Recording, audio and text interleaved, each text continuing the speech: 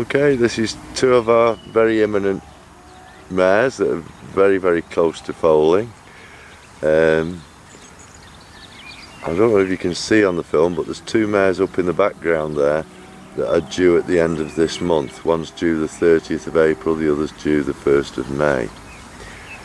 Uh, Dora, who's got her head down eating grass there, uh, she is now 16 days over her due date and she still looks like she'll go a few days longer.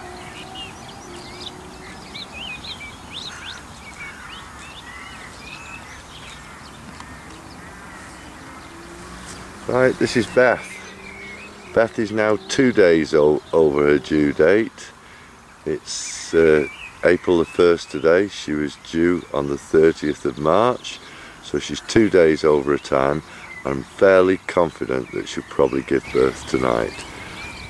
She's in foal to Edward and over in the background there is the father of the of the expected foal. That's Edward over on the hill there.